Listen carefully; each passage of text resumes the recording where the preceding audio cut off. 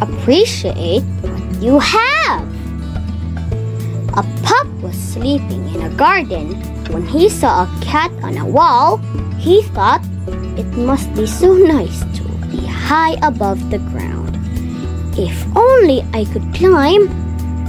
Then he heard the goldfish in the bowl, wishing it looked so nice and warm on the grass. I wish I could lie down on it.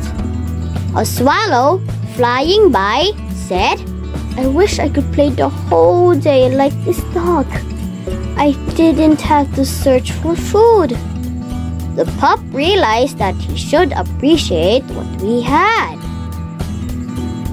Moral Grass is greener on the other side.